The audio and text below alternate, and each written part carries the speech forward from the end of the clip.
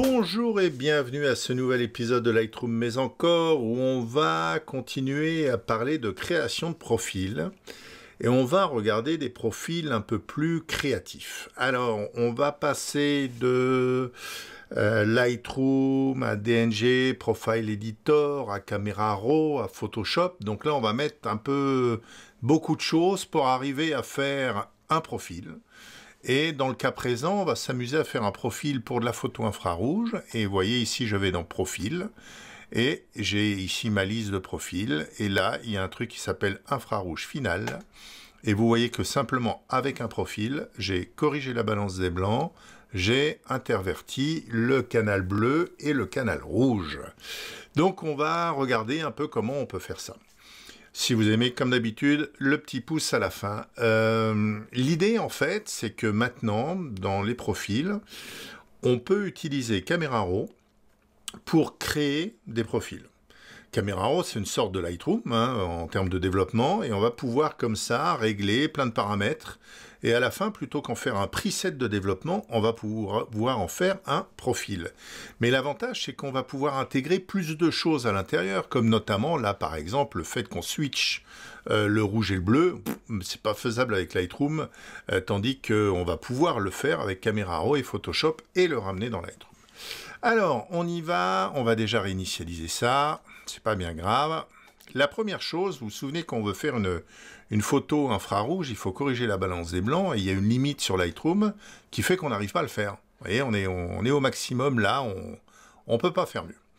Donc là, on va pouvoir, par exemple, avec un profil de calibration de couleur euh, qu'on fait avec DNG Profile Editor, on va pouvoir pré-changer cette balance des blancs.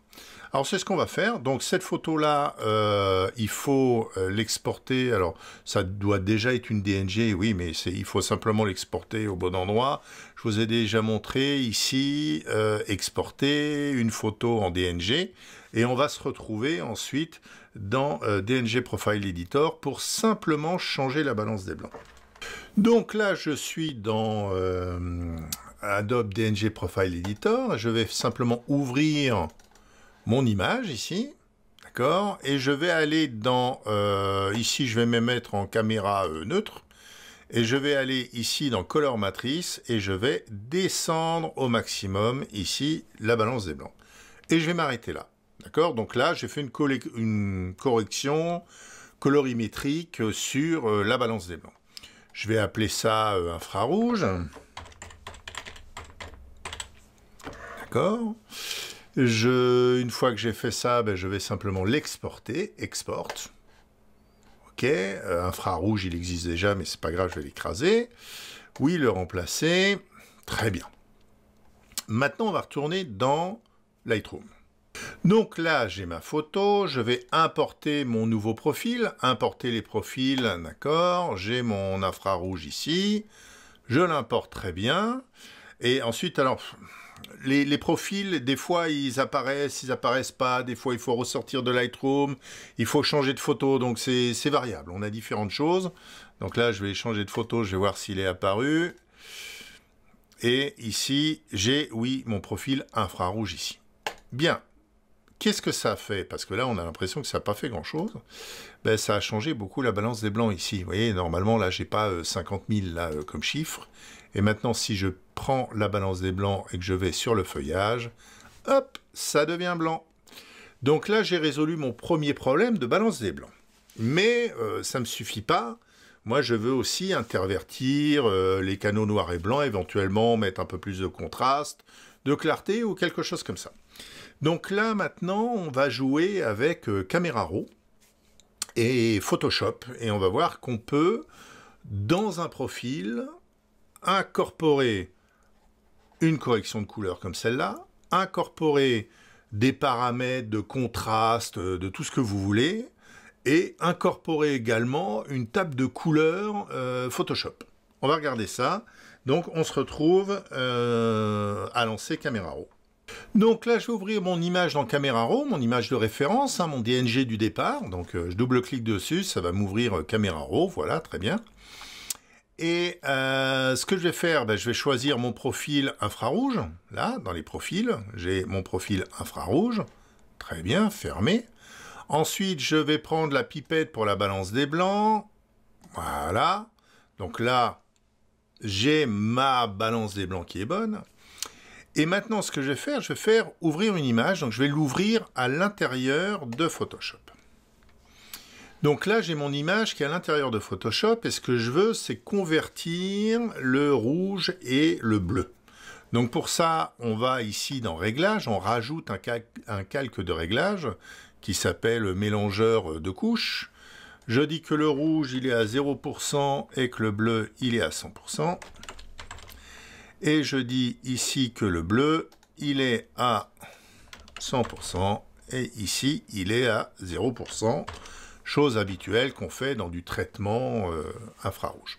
Donc là, c'est pareil, je fais des modifications de couleur. Et ensuite, ce que je vais faire, quand j'ai fait ça, je vais simplement faire fichier, exportation, et je vais ici euh, enregistrer une table de correspondance de couleurs. D'accord? Donc je lui donne un nom. Euh, je vais l'appeler euh, infrarouge. Voilà. c'est alors ça c'est parce que je le sais, c'est cube qu'il faut mettre. Mais vous pourriez faire d'autres réglages de couleurs hein, qui pourraient être pris en compte ensuite dans le profil. pour l'instant, ça doit vous paraître un peu brumeux, mais on va continuer, vous allez voir. Donc je fais OK et je l'enregistre. Euh, alors non, bah, il donne le, le, nom de, la photo, mais je vais quand même le changer infra rouge. OK, ce qu'on appelle une table de couleurs. Très bien, ça j'ai fait. Maintenant, comment on va lier tout ça? Parce que vous dites là, je vois pas trop le résultat, je vois pas trop ce qui va se passer. On va euh, fermer ça et on va réouvrir notre photo à nouveau dans Camera Raw. Donc je vais réouvrir ma photo de référence, d'accord? Je vais dire ici je veux mon profil infrarouge, d'accord? Ici infrarouge, fermé. Je veux changer la balance des blancs, très bien, mais je veux aussi rajouter du contraste. Je veux aussi rajouter de la clarté. Je veux aussi monter un peu les blancs, quelque chose comme ça. Je veux monter un peu les tons clairs. Voilà, donc j'ai fait différentes, euh, manips. Et ça, je veux le sauver dans un profil. Donc là, je vais aller ici dans la partie paramètres prédéfinis. Et là, il y a une touche miracle. Je suis en train d'appuyer sur... Si j'appuie là, là, je sauve un paramètre prédéfini. Mais si j'appuie sur Alt avant, d'accord, et que je clique sur ce petit carré, je sauve, alors excusez-moi, je ne l'ai pas fait, c'était pas sur Alt que j'ai appuyé, voilà, Alt et je clique. Et là, je peux sauver un profil, d'accord? Et dans ce profil, je peux inclure euh, mes réglages de base. Alors, le traitement et le profil de l'appareil photo sont toujours inclus. Très bien, je vais appeler ça infrarouge. D'accord? Et je vais aller plus loin, c'est-à-dire que je vais ici charger la fameuse table de couleurs que j'avais fait avant, d'accord? Qui s'appelle infrarouge, ici. Et là maintenant, donc vous voyez, il m'a mis des réglages de base euh, dans un truc infrarouge. Donc j'ai un profil de couleur pour changer la balance des blancs, un truc pour changer la balance des blancs, plus des réglages de base, plus des modifications de couleur. D'accord? Et donc ça, je vais le sauver d'accord, dans un profil qui va s'appeler infrarouge. Donc je fais OK. Et là, il m'a sauvé mon profil. Bah, je vous propose qu'on retourne sur Lightroom pour voir ce qu'on peut faire et ce que ça donne. Donc me revoilà dans Lightroom, je vais aller ici dans mes profils, et ce coup-ci je vais aller dans ce qu'on appelle profil utilisateur? Donc quand je fais un DNG, ça apparaît là, quand je fais euh, avec caméra RAW, ça apparaît là, et si je prends mon infrarouge, eh bien vous voyez que j'ai mon profil qui m'a tout changé d'un coup.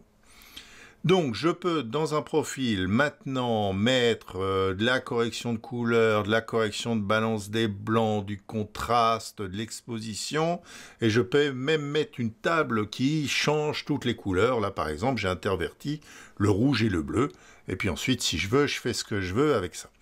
Alors on va euh, essayer d'en faire un en couleur quand même pour voir aussi euh, ce qu'on peut mettre dans ce genre de profil, parce que celui-là il est quand même très particulier, mais on va voir qu'on peut faire des choses beaucoup plus euh, standards ou des choses plus simplement sans passer par une table de couleurs. Donc, me revoilà sous caméra. Euh, comment passe alors hein Plein écran peut-être Oui, formidable. Euh, donc, me voilà sous caméra. Imaginons que je veuille faire un profil où les photos sont un peu plus contrastées. Donc je vais ramener un peu de contraste, un peu de clarté, et que je veux, imaginons, désaturer un peu la photo, et mettre une dominante de couleur. Alors dominante de couleur, ou alors le TSL, tiens, on va dire que le, bleu, euh, je veux qu'il soit un peu plus foncé. Voilà, avec des bleus un peu plus foncés. Et que je veux, ah ben c'est là les virages, donc je veux que les tons clairs soient plus bleus et je veux que les tons foncés soient plus orangés. Imaginons. Voilà, quelque chose comme ça. Ok? Donc là, vous voyez, j'ai travaillé simplement sur des paramètres de couleur ou ainsi de suite. Quand je retourne ici dans mes paramètres prédéfinis, que j'appuie sur Alt et que j'appuie sur mon, mon petit truc ici, vous voyez que ce coup-ci, il me propose de sauver les choses que j'ai modifiées. D'ailleurs, je n'ai pas modifié la courbe, donc je ne vais pas la, mettre. Mais vous voyez que j'ai les réglages de base, j'ai euh, TSI, ça s'appelle TSL sur Lightroom, et virage partiel. D'accord? Et là, je ne vais pas mettre de table de couleur. Euh, alors ici, il me met une table de correspondance, table Adobe Couleur, parce que je devais avoir le profil. Alors attendez, on va aller vérifier. Oui, j'étais en Adobe Couleur ici. Alors qu'est-ce qui se passe si je mets euh, ici, euh, je vais mettre rendu de l'appareil et je vais mettre neutre? Voilà, quelque chose comme ça. Fermé. Si je retourne là et que j'appuie sur Alt, euh, bah là, il ne me propose pas parce que c'était neutre. D'accord? Table de correspondance. voilà, il me propose de sauver là les trois trucs. Donc je vais dire, euh, je sais pas, je vais l'appeler euh, test euh, clarté imaginons. Ok. Et maintenant je vais retourner sous Lightroom, voir ce qui se passe. Donc j'ai relancé mon Lightroom, d'accord, et ici si je vais dans parcourir, et que je vais en bas, normalement je devrais avoir un truc qui s'appelle voilà test clarté. Voilà, c'est mon nouveau profil que je peux appliquer à plein de photos. Alors, vous allez me dire, mais euh, là j'ai fait plus du, développement. Il ne faut pas confondre les profils et les paramètres de développement. Le profil, c'est un truc qu'on va utiliser sur plein de photos. C'est là pour corriger une, erreur ou donner un style un peu particulier comme les modernes là euh, qui sont là. Encore que ça, on pourrait imaginer de le faire euh, dans des presets. Pour moi, le profil, c'est vraiment, euh, on veut calibrer une couleur ou quelque chose comme ça. Donc là, le profil, oui, va être très intéressant. Ou on a son appareil, euh, ben, on trouve que euh, il est un peu, un peu mou. Donc on remonte systématiquement la clarté, le contraste ou l'exposition ou je ne sais quoi. là, on peut tout à fait imaginer d'utiliser ce truc-là.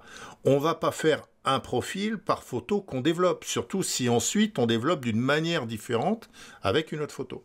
D'accord? Donc ça c'est important à garder à l'esprit mais ça permet bah, de créer vos propres profils par rapport à ce que vous aimez, par rapport à votre appareil photo, par rapport à votre chaîne. On peut imaginer, je sais pas, d'avoir un profil lorsque vous utilisez tel ou tel objectif parce que vous trouvez que tel ou tel objectif rend pas de la même manière et que vous aimez avec un peu plus de contraste ou avec euh, en changeant un peu une couleur parce qu'il y aurait une dominante de couleur qui apparaît, je ne sais pas. On peut tout imaginer.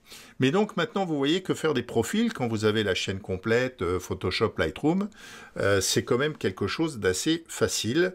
Mais comme je vous dis, n'en faites pas un par développement. La profil, c'est quelque chose qu'on va appliquer à plusieurs photos.